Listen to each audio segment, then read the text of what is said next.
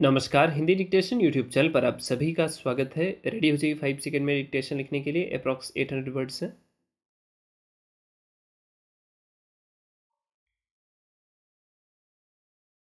संतुलित पर्यावरण में ही जीवन का विकास संभव है।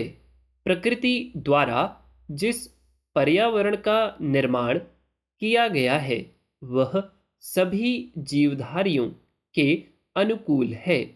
जनसंख्या की असाधारण वृद्धि और औद्योगिकीकरण की प्रगति ने प्रदूषण की समस्या को जन्म दिया है।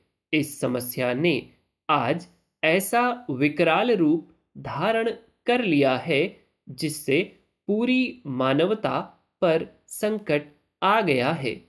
वायु, जल या भूमि के भौतिक, रासायनिक या जैविक गुणों में होने वाले ऐसे अनचाहे परिवर्तन जो जीव समुदाय के लिए किसी न किसी रूप में हानिकारक सिद्ध होता है, उसे ही प्रदूषण कहा जाता है।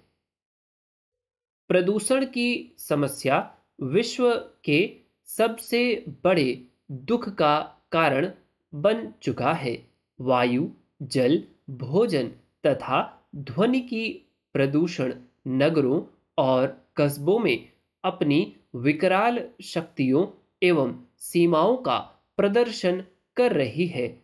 हालाँकि संसार के समस्त जीव जंतु छोटे छोटे प्राणी और नागरिक प्रदूषण की समस्या के शिकार बनते जा रहे हैं। वायु प्रदूषण की समस्या कारखानों, वाहनों और चूल्हे से होने वाले धुएँ से फैलता है। वायु प्रदूषण मानव जीवन के लिए एक बहुत बड़ा खतरा बन चुका है। इसके कारण नगरों में रहने वाले लोग कैंसर, आँखों के रोग, फेफड़ों के रोग आदि से ग्रस्त हो रहे हैं। संपूर्ण भारत में नदियाँ व नालों का प्रयोग कारखाने और मानव गंदे नाले के तौर पर किया जाता है। यहाँ तक कि सबसे पवित्र नदी माने जाने वाली गंगा नदी भी आज के समय में दूषित हो चुकी है। इसके अलावा अन्य प्रमुख नदियों का भी यही हाल है।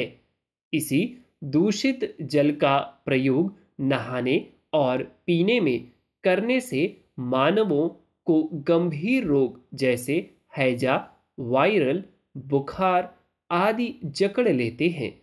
दूषित जल का प्रयोग भोजन बनाने के लिए भी किया जाता है, जिसके फलस्वरूप भोजन की दूषित हो जाता है। इसके अतिरिक्त भोजन, हवा, खादों और रासायनिक पदार्थों के कारण भी दूषित हो रहा है। वायु और जल प्रदूषण के साथ साथ संसार में ध्वनि प्रदूषण की समस्या भी बहुत अधिक है। ध्वनि प्रदूषण का सबसे अधिक प्रकोप शहरों और राजमार्गों पर नज़र आता है। ध्वनि प्रदूषण के कारण अब तक बहुत से लोग अपनी सुनने की शक्ति खो बैठे हैं या फिर उन्हें कम सुनने लगा है।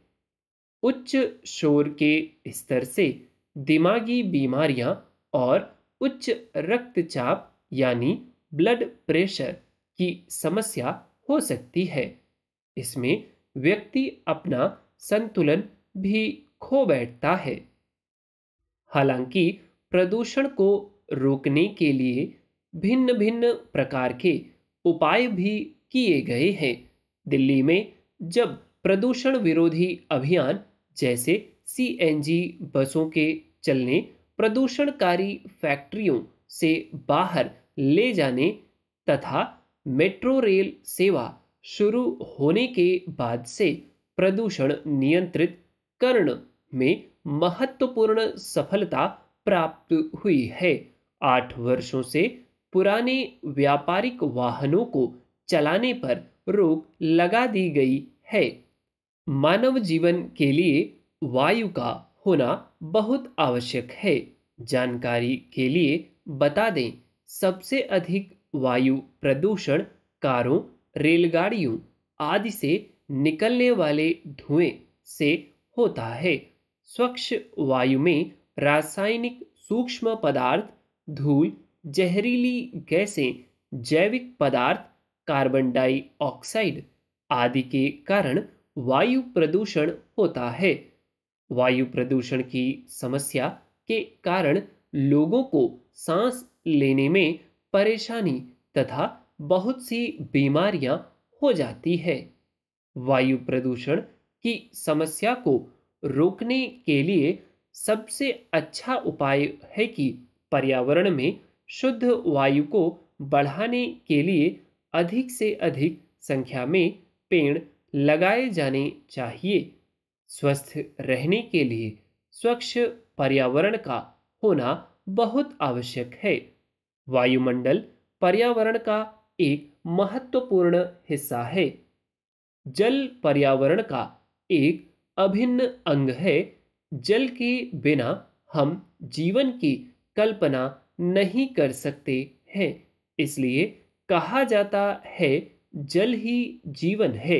परंतु आज औद्योगिकीकरण के युग में धरती पर जल प्रदूषण एक लगातार बढ़ती समस्या बनता जा रहा है, जो मानवों के साथ साथ जीव जंतुओं को भी प्रभावित कर रहा है।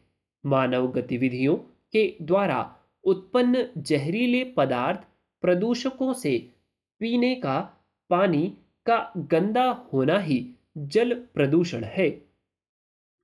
दूसरे शब्दों में, जल के भौतिक व रासायनिक स्वरूप में परिवर्तन करना ही जल प्रदूषण कहलाता है।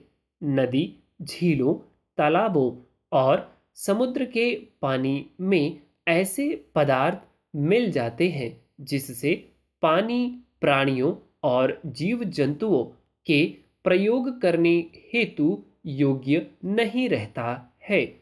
इसी वजह से हर एक जीव जो जल पर आधारित होता है, वह जल प्रदूषण से अत्यधिक प्रभावित होता है।